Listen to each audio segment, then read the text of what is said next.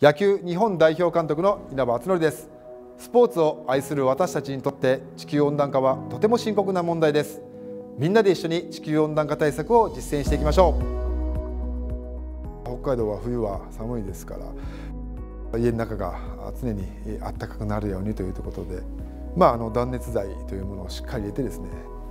冬は暖かく夏は涼しくというね窓を開けて風を通しを良くしてですね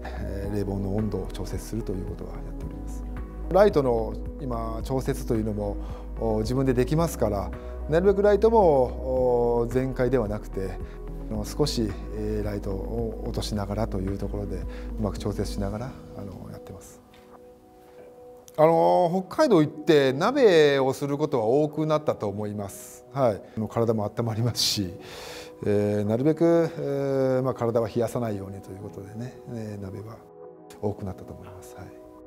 い、試合が中止になるとですね、えそれがどうしてもその後ろになっていくと連戦が続く中でその中止が入ることによって何連戦という連戦が続いてしまうので非常にこう選手に負担というのはかかってしまいます。あのもうこの問題というのは本当にあの皆さんの一人一人の意識だと思いますからその意識をみんなが持ってできることをやっていくとそして少しでも地球温暖化の進みを遅くするということをみんなでやっていけたらなというふうに思っています。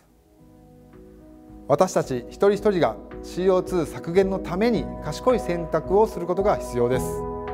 環境のことを考えよう。来た時よりもきれいに。クールチョイス。